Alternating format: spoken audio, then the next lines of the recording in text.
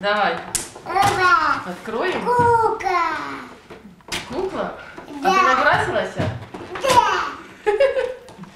Нині волонтерка Олександра Сова-Тимощенкова прийшла до своєї підопічної Жені. Дівчинка має 60% опіків тіла. Таких дітей, яким допомагає Олександра одночасно, з десяток. Щодня вона провідує кожного з них у лікарнях, дістає необхідне ліки, донорську кров і просто піднімає настрій. Ты сама сирота, как бы из-за этого, когда родилась дочка, у меня, видно, проснулся, ну, ма- материнский инстинкт проснулся, вот, и из-за этого я начала помогать, как бы, деткам.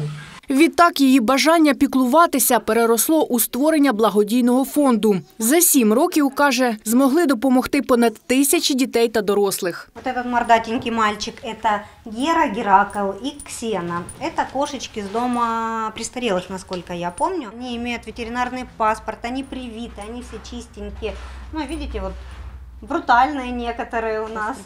Вона може розповідати про своїх підопічних котів годинами. За 12 років волонтерства за плечима Маріани Мірошніченко сотні врятованих пухнастиків. Перша в Україні міська програма захисту безпритульних тварин та створення притулку. Больше 10 лет назад сидела на работе и в обеденный перерыв думаю, дай-ка почитаю чего-нибудь отвлеченное от работы. И, как сейчас помню, попала на животрепещущую историю о том, как собаке отрезала ноги. И, в общем-то, ну, я так очень, мягко говоря, расстроилась и поняла, что, ну, если этой собаке нужна помощь, то, наверное, там еще много животных. Подібні емоції і бажання виправити ситуацію відчула й волонтерка Дар'я Андрусенко Якотюк, коли в Україну прийшла війна. Тоді жінка збирала одяг, їжу, тепловізори, сітки і відвозила нашим захисникам у зону АТО. Дитина мала, що робити з дитиною малою. Ну тут що тут їхати? Чотири години і ти там. Вигрузив, ввечері приїхав. У мене було таке, що я приїжджала, а я в яслі малого віддала.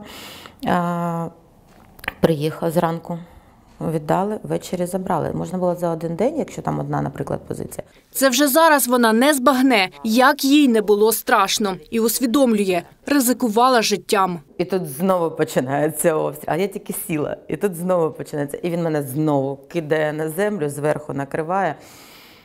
Все, так лежу тихесенько, ж все потім. І в мене тільки обурення одне було, що мені важко, і мене мордою в багнюку кинули. Так, зазвичай із гумором чи оптимізмом волонтерки розповідають про болюче і моторошне. Адже кажуть, переконалися, тільки так можна встояти і перемогти. Галина Гусак, Денис Крикус, Open News, телеканал відкритий.